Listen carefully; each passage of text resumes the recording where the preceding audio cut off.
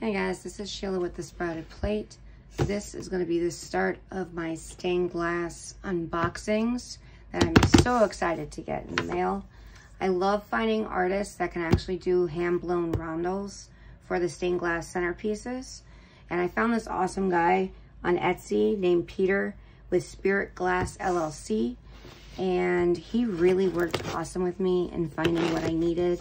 I left him a little message to show the love, to tell him how excited I was and what I planned on doing with it, uh, which was centerpiecing it in my stained glasses that I'm going to be selling on my Etsy shop soon.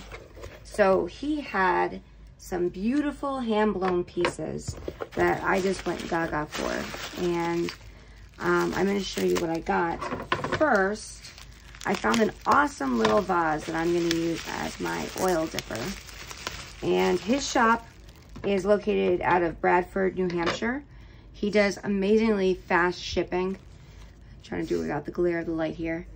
But this is so beautifully hand blown and so so many beautiful colors in it that I'm just gaga over it right now. What do you guys think? I have my kids here telling, looking to see what I got in the mail because they're getting into glass with me too. So I thought I'd bring them on this adventure with me and we can try to record the process. So what do you guys think of this beautiful little hand vase? I like it. It fits right in the hand. It's so cute. I like it, not just because it's my favorite color, mm-hmm. but also it's really cool. And it's really cool. But and I'm going to be adding this to my collection. What can you put in there? Of glass. You can put whatever you want in that. Imagination imagine what you can do with, with that stuff. But I'm personally going to use this as my oil dipper for my tools. I'm gonna put a little bit, a little cotton pad on the bottom, fill it up with some really good cutter oil, and then I'm going to dip my piece in here as I go, instead of using my beetle system that I'm using right now that gets filled with glass shards all day long. So the next really awesome thing that I was excited about were these rondels. Oh, he packed it good in here. All right, so we have this beautiful rose color rondel. Again, hand blown. The side is perfectly flat on the bottom to sit for stained glass. I have a little bit of an air bubble that adds character, but it's really, really beautiful. Just amazing piece of work right here. I can't wait to use that. This one is another piece that is absolutely stunning. And it has your blue saying that you like in here. What do you guys think of this one? I, li I like the rose one and that one. Yeah? I, I like that because um, I think the rose color is like rose gold and I like rose gold. Yeah. And also it has Zane's favorite color in it. Mm -hmm. So mm-hmm. I'm liking it.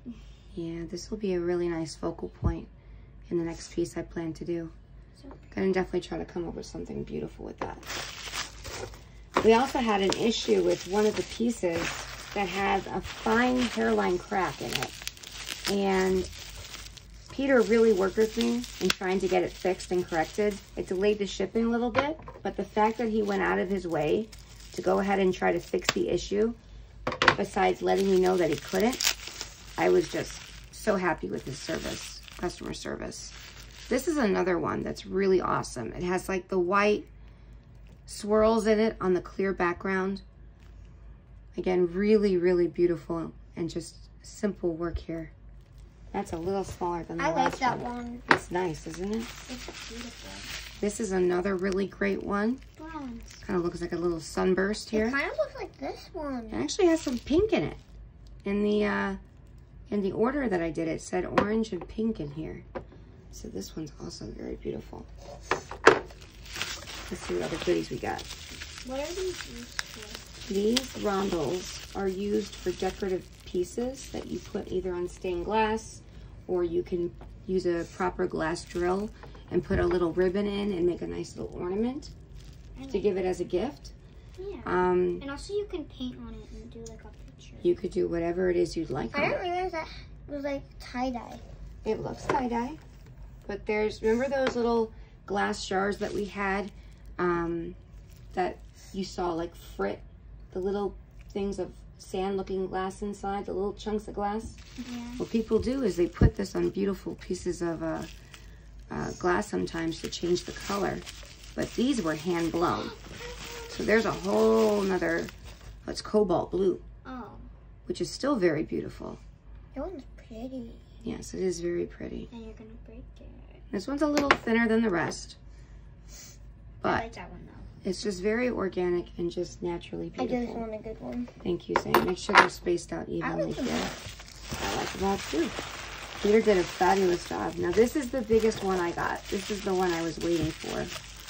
I plan on doing a really, really awesome piece really pretty. that incorporates a lot of different funky colors. Wow. Look how pretty this one is. I like that a lot. Mm-hmm. It definitely has some glitter in it, I'm looking at. Can you guys see that little glimpse of glitter? Yeah. I think it's glitter. I gotta ask Gold- Peter, but Gold glitter. This is absolutely stunning. I'm trying to get that ring away from the camera here. But look at all that. Absolutely stunning. I cannot wait to use that. That will be awesome. And I think that is it. That is the first and definitely not the last order I'm going to have with Spirit Glass LLC. So talk to you guys later. It's over. Subscribe already. to my channel. Have a good day.